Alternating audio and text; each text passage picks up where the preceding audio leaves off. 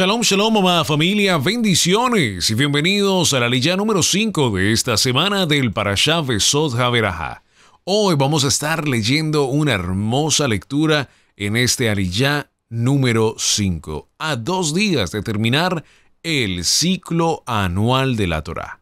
Deuteronomio capítulo 33, verso 22 al 26 y después Lucas 9, 28 al 36. Comencemos. De Daniel dijo, Dan es como cachorro de león, saltando hacia adelante desde Bashán. De Neftalí él dijo, tú, Naftalí, satisfecho con favor y lleno de bendición de Adonai, toma posesión del mar y del sur.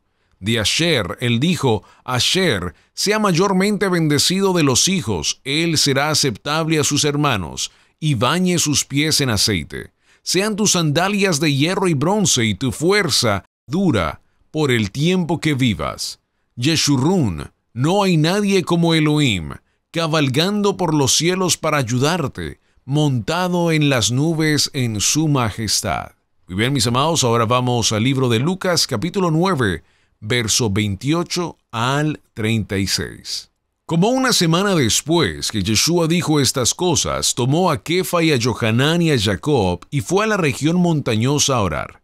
Mientras oraba, la Shekinah de Adonai cayó sobre él. Su rostro resplandecía y su ropa se volvió blanca brillante. De repente había dos hombres que hablaban con él, Moshe y Elijah. Ellos aparecieron con un esplendor glorioso y hablaron de su éxodo, que pronto se cumpliría en Jerusalén. Kefa y los que estaban con él habían estado rendidos durmiendo, pero cuando se despertaron completamente, vieron su Shekinah y a los dos hombres que estaban con él. Y cuando los hombres ya se iban, Kefa le dijo, sin saber lo que decía, es bueno que estemos aquí, Rabí. Vamos a hacer tres Sukkot, una para ti, otra Moshe y otra para Elijah. Mientras él decía esto, vino una nube y los envolvió. Ellos tuvieron temor al entrar en la nube, y una voz salió de la nube diciendo, Este es mi hijo, a quien he escogido. A él escúchenle.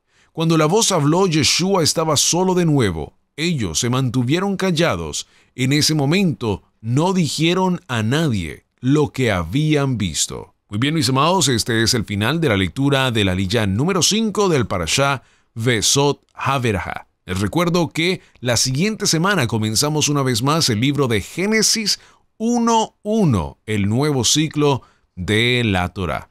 Y déjeme también recordarle que es un gran privilegio servir a Donai. Shalom, shalom.